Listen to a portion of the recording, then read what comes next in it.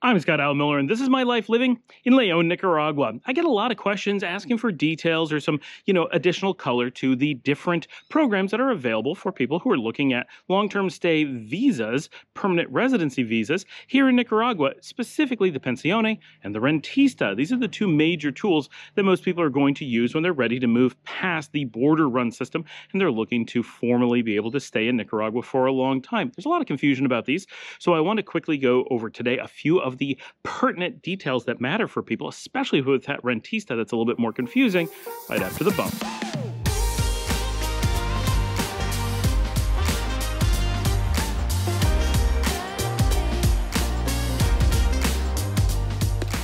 There are many programs that you can use to stay long term in Nicaragua, like with most countries, but there are two that are mostly popular with uh, expats who are looking at staying here in Nicaragua the Rentista and the Pensione. There's also uh, investment that is well known, but very few people are going to do it because it just has much more requirements, takes a lot more time, and uh, really you're making a long term commitment. That one is really expected that you are all in on Nicaragua, whereas most people are quite serious about staying long term but may not be ready to make that kind of commitment or may not have those kinds of financial resources. It's so it's it's not very popular for a lot of reasons. Basically, anyone who can do that one can also do one of the others. There may be exceptions, but in general, you'll always have multiple open to if you're doing that. So people who are looking at investment visas here in Nicaragua are few and far between and are going to be doing lots of time and a lot of research before they go down that path or certainly should be. This should not be done lightly in any way whatsoever. If it's something you're considering,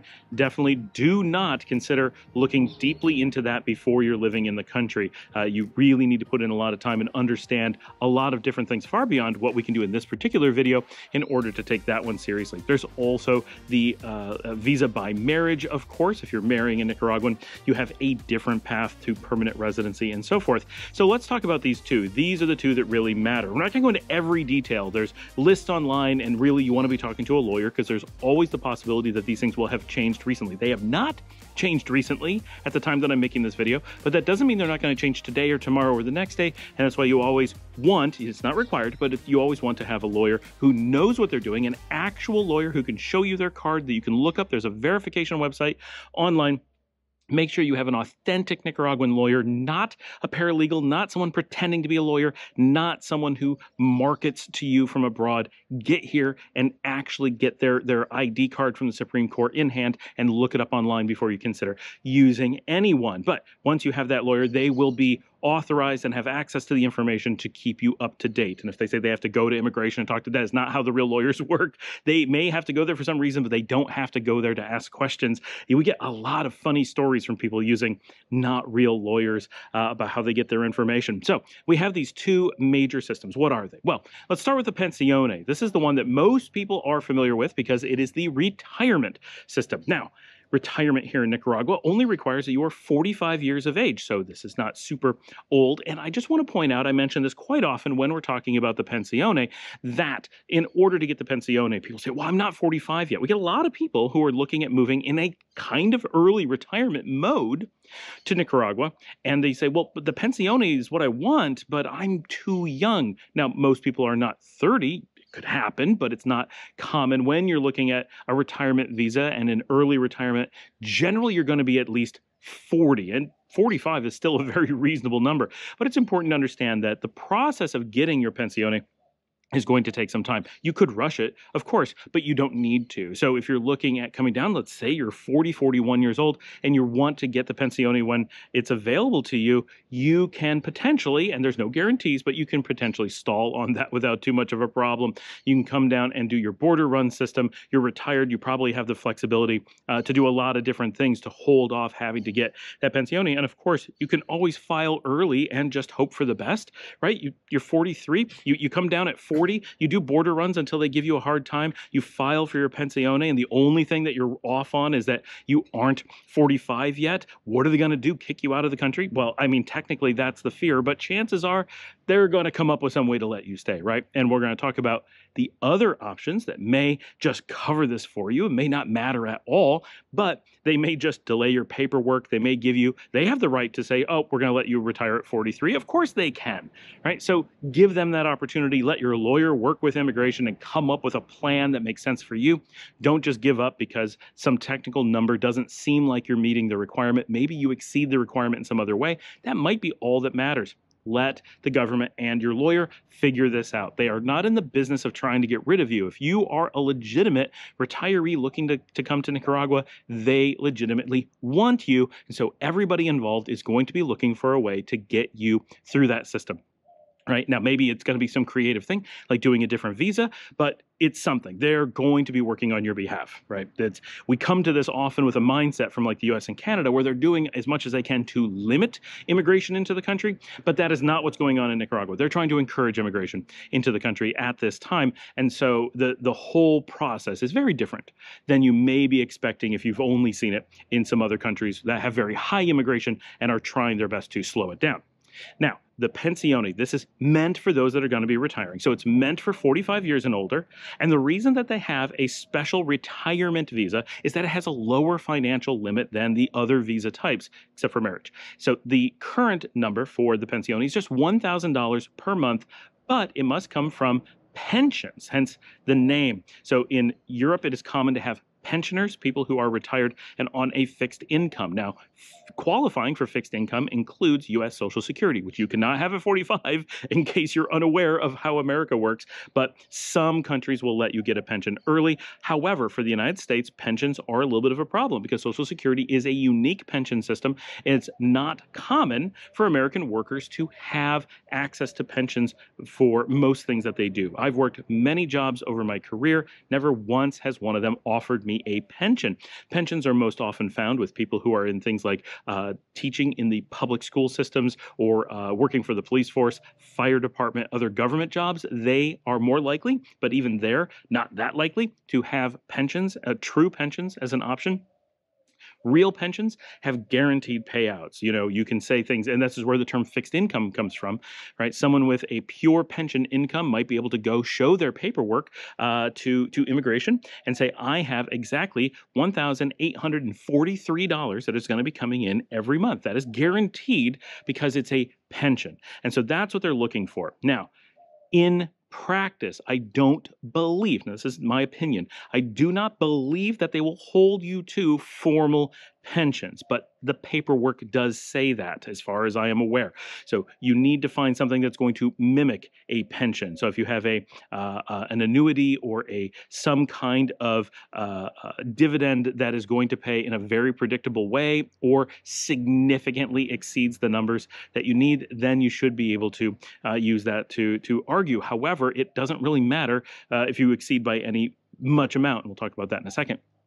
But uh, the whole idea here is that you have an absolute guaranteed $1,000 coming in per month if you are at least 45 years old. So that is that's what that's for. For people who have pensions that are very small, that are legitimately uh, retired and, and will be able to, I mean, a thousand, you can certainly live in Nicaragua for a thousand. You're not going to be, you know, you're not going to be making it rain every weekend. You're not going to be, you know, renting out baller palaces on the beach uh, all the time and throwing lavish parties, but you can have a very comfortable uh, rental house. You can go get plenty of healthy food and, and pay for your internet and pay for your electric and do all the things of life very easily. I have people on my show who, while they qualify for more, they live on budgets that are smaller, more like $800 per month, and say they're pretty comfortable and even have a car. Not the latest, flashiest car, but they're able to maintain car payments, house payments, rent, whatever, uh, uh, pay for their food, and, and travel and do things on that budget. So at $1,000, the Nicaraguan government feels very confident in a retired lifestyle being sustainable without any problem. That is the design of these numbers and these systems, right? They want to make sure that you're able to safely accommodate yourself in the country and be able to cover your expenses and not become a burden on the state. And beyond that, they, they want to welcome you in, right? So that is the design of these systems. That's how to think about it. So that's the pensioners, the pensione visa. That is how it's going to work. And then you can just kind of picture how it's going to work from there. Now the rentista. This is the one that confuses people a lot because there's a lot of misinformation online. And i this one thing i don't think it's actually misinformation online. I think it's worded in such a way that people draw a false conclusion from just the way some websites are formatted. Like it, maybe they're a little bit misleading but completely accidentally i've never seen a website that stated so a lot of the misinformation that people talk about i have seen sources for it. Like oh this thing says you only need $600 i know where that came from. It's false and i know what its source is right? In the case of this particular misinformation, I believe it is legitimate websites with legitimate information that people are reading quickly or they're seeing like a Google or Chat GPT summary that pulls multiple pieces of information and and garbles it and, and makes it incorrect. So the Rentista visa does not have an age requirement period. There's no age requirement on it. Many websites have the rentista information listed right next to the pensione, and it's really easy to see how an AI scraper would merge the two together. A human reading it can decipher that one says that the limitation is only for the pensione and then other information is shared between the two, but ChatGPT or something would really struggle with that and appears to be doing so. So that's the source. If you hear anyone say you got to be 45 for the rentista as well, that is absolutely not the case. It is not a retirement plan, it is not meant for people of a certain age. If you are 18 and you otherwise qualify, you can be a rentista. Okay? So that's that's the first piece. So you can do this at any age. So this is where potentially when we said, what if you're too young and it, you, you can't just stall through the through the border run system, which you probably can, but in case you can't, the rentista is available to you. Now, the rentista is not meant, like we said, for retirees. So it has a higher monetary limit. Instead of bringing in an absolute, completely guaranteed pension of at least 1000 a month, it is a not guaranteed but suggestive of being reliable $1,250 per month. So 25% more income is required. And what I've heard is that you have to show that that has been coming for at least five years. Uh, but we're going to explain a little bit here. So the word rentista is often mistranslated. The direct English translation of rentista is rentier. And I understand that that sounds an awful lot like you derive your income from rents, but that is not what that English word means. Rents do qualify as one of the things that could be meant by the term rentier, but it is not actually implied. It is one of options. It refers to any type of ongoing passive income. And this is important because it could include things like stocks, funds, bonds, you name it, Bonds you may be able to make an argument for in the pensioners category, but all these different types of what are called passive incomes count for the rentista because a rentier is equally referencing any of those things. So, for example, you have a house in the United States or in Canada, you rent it out and you have a monthly income uh, uh, from that of $2,000 a month. Someone is paying you $2,000 a month to rent that house from you. If that has been going on for five years, right? Not, and this is important, right? It is not because it is not a rental agreement that we're talking about. So we're, when we're talking about the rentista or rentier name, it is referring to you as the rentier. So when they say you need five years of income, they don't mean five years of that particular person renting your house. They don't mean that specific contract. It means that your business of renting houses needs to have generated at least $1,250 per month for the last five years, for the last 60 months. And of course, there's probably some flexibility there where you could be like, well, this month it was twice as much, this much it was less. That's how rents work, right? That's probably fine. It's probably an average. It's probably a little bit, eh, you know, that you can explain it. That's how things tend to work here. It's very analog. But it's referring to you as the rentier. So you don't need to show a specific contract. It's not like that because they don't care about rentals. This is not about rentals. It is about your being a business person with passive income as opposed to pulling a salary uh, to show the same money. Now, if you look at equal things, you could have stocks that pay dividends uh, of, you know, more than 1250 per month and all you have to do is go back uh, 60 months and show that your stocks routinely pay you more than that at least averaged over that time also no problem at all or you could have some rent and some stocks or some bonds or some mutual funds or any number of different business activities that produce dividends or other types of passive payments in excess of $1,250 per month. So for people who have things like a retirement account that is not a pension but is a 401k or an IRA or a Roth IRA. Or if you're like me, I didn't use retirement accounts. I used a traditional investment account with no ties to retirement whatsoever so that I would have flexibility throughout my life to make sure I always had access to that money, and that has benefits too.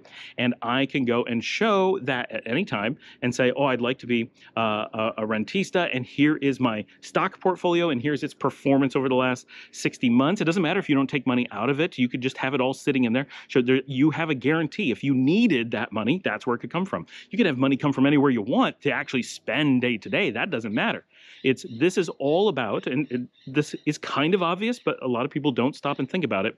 Everything comes down to the government of Nicaragua wants to know that should you fall on hard times, should you lose any form of income that you have going on currently, should you have any kind of disaster have that you you become ill and you're unable to work or or the job market dries up whatever they want to know that you have a mechanism that is reasonably reliable nothing can be proven for sure that you can fall back on that is going to guarantee you enough income to live and not become a burden on the state. That is what it all comes down to. So, all these things, when you're thinking about it, having that mindset will explain all the things that you're seeing.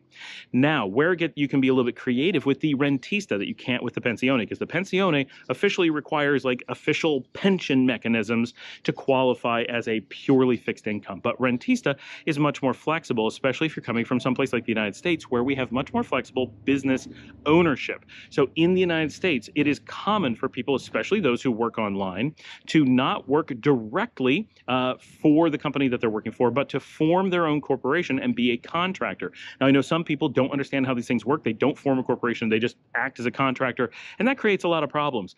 But even then, you can make an argument for your salary coming from that for being uh, in the rentista because in the United States, salaries, when they're paid to you as a contractor you're also a sole ownership that is simply not registered. So technically, it kind of qualifies. So I would not want to go down that path if I could help it. But if you were in a position where you had to, speak with your lawyer and work out a plan. You can probably present that in a reasonable way. But for those who have a little bit more wherewithal, have been planning a little bit longer, or simply have the infrastructure in place, having a business that you hire yourself through generally takes care of everything you need. Now, if you have like a Class C corporation, that may not always. You may be paying yourself a salary and have no claims to passive income unless your stocks are also making a certain amount of money but you also may be able to maneuver that with your lawyer and figure things out, right? There's options. But what you're able to do with most types of uh, investments of your own, let's say you own a, a restaurant in the United States or you, you're, you're a contractor and you've made a business for selling your own services. And this is easy, right? When I worked on Wall Street, uh, the top performing people were not paid through the internal HR mechanisms because they had, they had income caps. So people who needed to earn above the income, the official HR income caps would have to be contractors. And then they had no caps and they could pay whatever your market value was. So, so the top, you know, one, 2% of the people working within the bank were kept as contractors. So when you were a contractor, you always had the option of forming your own company instead of just taking the pay directly. You could form a company, have that be paid, and then that company can do whatever it wants with that money including it could pay you with it, but it could also pay you through uh, um, uh, dividends at the end of the year. It could take the money before it comes to you and use it to invest in other things, start other businesses, or whatever. Just general business accounting practices. But these are things that contractors often do in the United States, but they don't normally think about all the flexibilities that would come with it because they don't need them. They're just looking for a way to maybe run payroll before they get paid to make taxes a little bit easier, something like that. But if you're doing something like that, so you have a business, let's just say you're a graphic designer, and you, even if you only work for one client, that's fine. But if you work for 10, that's fine too. All these different ways will work. You can bring in that money and pay yourself as a dividend. What's interesting is that with certain types of classifications, depending on where you've incorporated, certain LLCs, when, when declared as an S Corp, are able to pay salary and dividends as a merged thing. They, they appear the same. This gives you an opportunity to show that you're being paid through dividends and it's actually your salary or vice versa, or it's really dividends it's all in how you look at it. It becomes a semantic argument. But by having a company that can say, these are dividends, here's what is being dispersed, and even if the company is just you, that's blind outside the United States. That's not something that's discoverable. Of course, the US government knows all about it because it's a US company. But outside the United States, it is simply a company and it is paying you dividends. So you there are paths for most people. Now, if you're just a standard employed person somewhere and you're just pulling a salary, you're going to need to go and work with your lawyer and, and make an argument for qualifying for the rentista. It should not be a problem. There are also some digital nomad accommodations that are new and special, so you may want to go down that path as well. I'm not familiar with what those offerings are. I know of no person who's ever bothered to go in that path because there's all these other systems that allow you to be a digital nomad and every person I've ever known has qualified for at least one of them if not normally two or three so it's it's generally not a, a problem but uh, if you have any form of your own investments, whether it's traditional stocks or your own business that you do work through, or it truly is passive, generally you can maneuver that into a passive income that will exceed the requirements for the country. Now, you may not have the longevity, but again, the longevity rules are not that it's a single entity paying you for that long, just that you've had those transactions over a period of time. So you may show currently that you have uh, a business that perhaps you own that you're getting that passive income from, even if it kind of mirrors a salary. But in the past, maybe you can show that it was coming from an investment account or something like that, a, an S&P index fund like we talk about sometimes. All those things will qualify. You just have to work with your lawyer, package them and present them in the right way to show that it is what you need. Now, again, the number is $1,250 per month, so you do have to hit that. Generally, people who are working in any way in the United States or Canada won't have a problem coming up to that number, at least averaged over a period of time. So, very important when you're looking at the rentista. In no way does it imply you have to be doing rental properties. It is your personal business of you putting together numbers as an average over a period of time to show that your income is at that level. Uh, and only if you're under 45 and don't have the pension system to qualify for the even easier pensions uh, pensioner uh, pensione system. Now, I say easier. It's easier if you have those things. If you don't have those things, of course, it's really hard because you can't magically make yourself over 45 and you can't magically get a pension. Pensions are not open to the public. So that's one of the reasons why the rentista is super important because anyone can put together a rentista system if they have time and plan ahead. But a pensione, you have to have taken a career that specifically offered a pension, put in decades, and come up with a pension large enough to qualify. So it's very complex. Thanks for joining me. Like and subscribe. Get down and ask any questions you have. Uh, always love when people write in, give me stuff to talk about. And of course, we love it when you guys send in a video of yourself. We have a join button. That's for joining our membership system. It's $5 per month and it's just a monthly ongoing commitment to help support the channel. It really does help. We have so many expenses and it makes a big difference. And of course, if you just want to do a one-time sponsorship, you can buy me a coffee or a few at the link above, buymeacoffee.com slash Scott Alan Miller. We don't sell anything on the channel. We don't have some program that you pay to get extra access to. All of our information is completely free, completely available to the public, and it is absolutely 100% through your donations and the tiny bit of ad revenue, which is so much less than you would imagine, coming in is where all of our uh, ability to keep the lights on comes from. So we really appreciate everyone who helps make this channel uh, possible. Thanks for joining me. I'll see all of you tomorrow.